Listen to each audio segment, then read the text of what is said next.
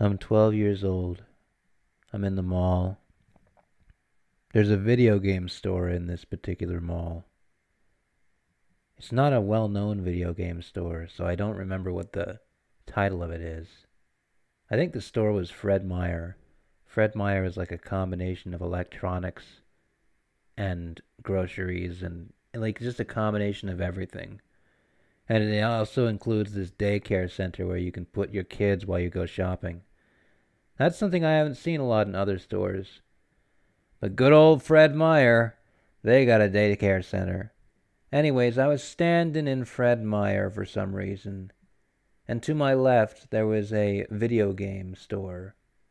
Or it might have been a general electronics store. But in this store, in this general electronics store, it had kind of a neon glow inside of it. A lot of neon. I think there was like some kind of fog machine. I don't know why. That's what I remember when I think about it. A fog machine and neo lights buzzing all around. And in this store, I saw on the screen one of the one of the TV screens. There was a GameCube TV screen, there was a PS2 TV screen, and there was an Xbox TV screen. And on each of those screens, there was a demo of their game. You have like the little controller coming out for you to play one of the demos. Well, I was looking at the demo of the GameCube screen, and I saw uh, Mario. Mario uh, from the Nintendo game Super Mario and he was wearing this this backpack. And uh, there was this, this this piranha plant, but it wasn't like the normal piranha plant from a Mario game. It was like uh, paint. It was like made out of paint. So I went up to this video game demo, gave it a try.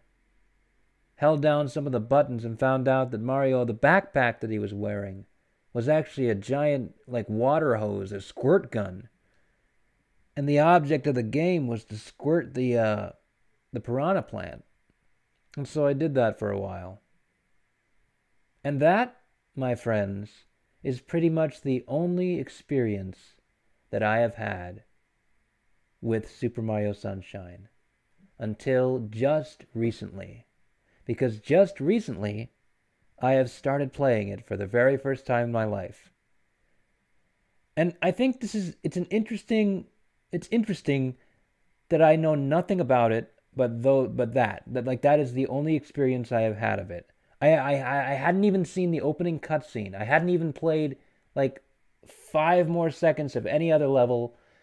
I think that I I've seen like maybe three seconds of Game Grumps footage from like you know clips that I watched on, on Game Grumps. But I, I when I saw that Game Grumps were playing Super Mario Sunshine, I deliberately did not watch it because I did not want to spoil myself. Because when I was that kid in that electronics store in Fred Meyer in the electronics section, and I was looking at that and I was playing that, I was the most excited I had ever been. I was so excited and it was so cool that there was a new Mario game, and I really wanted to play it. But we did not get a GameCube, my family. We got a PS2. So I didn't get to play it. And so, like, I, I just kind of kept that excitement within me. Kept it within me until this moment right now when I have started playing Super Mario Sunshine. And I gotta say, keeping yourself spoiler free from a video game really does have an effect.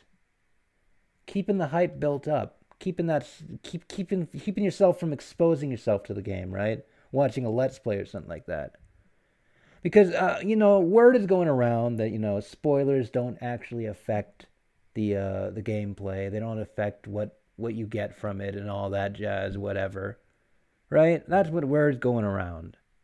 Actually, at least as far as movies are concerned, right? Yeah, if you get spoiled for a movie, it's still going to be a good experience. Still going to be just as good. But I think with video games, it's different. Because I'm playing Super Mario Sunshine, and it is an amazing experience, and it feels like I'm playing a brand new game. Even though this game is, I don't know, I think it's over 20 years old. Maybe not 20 years old. It is almost 20 years old. but it feels like a brand new game to me. And that's amazing. And that's great. And I'm enjoying the experience.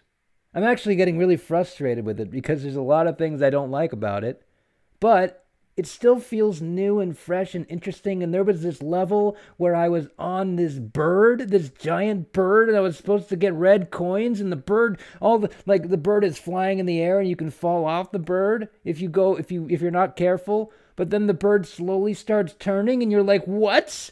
What am I supposed to do? What am I supposed to do? Oh, the bird's turning. And then the bird turns, and then you fall off and die. And then I was like, whoa, wait. I got to figure this out. And so you try again and again and again. And then eventually you figure out that while the bird's turning, you just got to go on because the bird is made out of like square sand cubes. And all you got to do is go to it's like on the bird's neck and then wait and wait until he starts turning until he's like 50-50 and then you run on the other side of the cube as he turns. And it was just the most the most magical experience of all time. It was very frustrating, but it was frustrating in a good way. You know what? I don't know if there is a such thing as frustrating in a good way, but it was such a magical experience and I enjoyed it so much. And so um I'm having a great time. I'm having a great time playing the game that I saved up all of the hype for that I had as a child. It is a magical and wonderful experience and I hope that other people have done this with a similar game. And if you have, I don't know if anyone has, but if any any of you folks out there on YouTube have, please leave a comment letting me know what game you did this for. Because I want to know. I don't know. I, am just bored. Uh, this has been the Kokino Podcast. Uh, if you haven't noticed, these are going to kind of get weird and, and go in whatever direction that I want them to and I'm gonna stop trying to appease.